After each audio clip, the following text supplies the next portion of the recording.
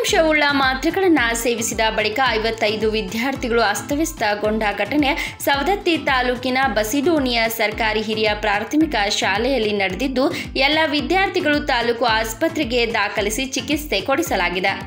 ಬೆಳಗಾವಿ ಜಿಲ್ಲೆಯ ಸವದತ್ತಿ ತಾಲೂಕಿನ ಬಸಿಡೋಣಿ ಸರ್ಕಾರಿ ಹಿರಿಯ ಪ್ರಾಥಮಿಕ ಶಾಲೆಯಲ್ಲಿ ಘಟನೆ ನಡೆದಿದ್ದು, ಶಾಲೆಯಲ್ಲಿ ಇಂದು ಮಧ್ಯಾಹ್ನ ಎರಡುನೂರ ಮೂವತ್ತೊಂಬತ್ತು ಮಕ್ಕಳು ಬಿಸಿಯೂಟ ಮಾಡಿದ್ರು.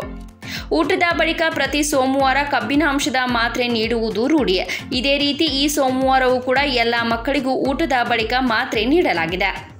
ಸಂಜೆ ಏಳು ಮೂವತ್ತರ ಸುಮಾರಿಗೆ ಹಲವು ಮಕ್ಕಳಿಗೆ ಹೊಟ್ಟೆ ನೋವು ಕಾಣಿಸಿಕೊಂಡಿತ್ತು. ಇದರಲ್ಲಿ ಇಪ್ಪತ್ತೊಂದು ವಿದ್ಯಾರ್ಥಿ ವಿದ್ಯಾರ್ಥಿನಿಯರು ತೀವ್ರ ನೋವು ಉಂಟಾಗಿದ್ದರಿಂದ ತಕ್ಷಣ ಅವರನ್ನು ಆಂಬ್ಯುಲೆನ್ಸ್ ಸಹಾಯದಿಂದ ತಾಲೂಕು ಆಸ್ಪತ್ರೆಗೆ ದಾಖಲಿಸಲಾಗಿದೆ.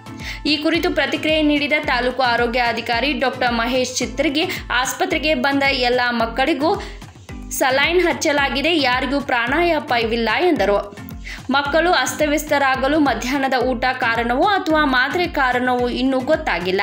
ರಾತ್ರಿಯಿಡೀ ಮಕ್ಕಳ ಮೇಲೆ ನಿಗಾ ಇಡಲಾಗಿರುವುದು ಈಗಾಗಲೇ ಕೆಲವು ಮಕ್ಕಳು ಚೇತರಿಸಿಕೊಂಡಿದ್ದಾರೆ. ಆತಂಕ ಪಡುವ ಅಗತ್ಯವಿಲ್ಲ. ಅಸ್ತವ್ಯಸ್ತಗೊಂಡ ಎಲ್ಲ ವಿದ್ಯಾರ್ಥಿ ವಿದ್ಯಾರ್ಥಿನಿಯರು ಆರು ಮತ್ತು ಏಳನೇ ತರಗತಿಗೆ ಸೇರಿದವರಾಗಿದ್ದಾರೆ ಎಂದು ಮಾಹಿತಿಯನ್ನ ನೀಡಿದರು.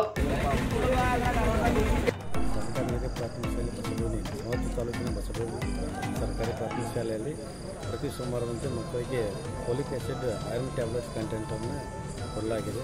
ಆ ಮಕ್ಕಳಿಗೆ ಅದರಿಂದ ಏನಾಗಲ್ಲ, ಯಾವುದೋ ಮಕ್ಕಳು ಸೈಕಿಕ್ ಆಗಿ ಒಂದು ಒಂದು ಮಗು ವಾಂತಿ ಮಾಡ್ಕೊಂಡ್ರಿಂದ ಸೈಕಿಕ್ ಆಗಿ ಬೇರೆ ಎಲ್ಲ ಮಕ್ಕಳು ಕೂಡ ವಾಂತಿ ಮಾಡಿಕೊಂಡು bureau report Iranahullur Bharat Vaibhava news Savadatti Thanks for watching. Read, discuss, and debate with editor Dr. Yan Prashant Rao.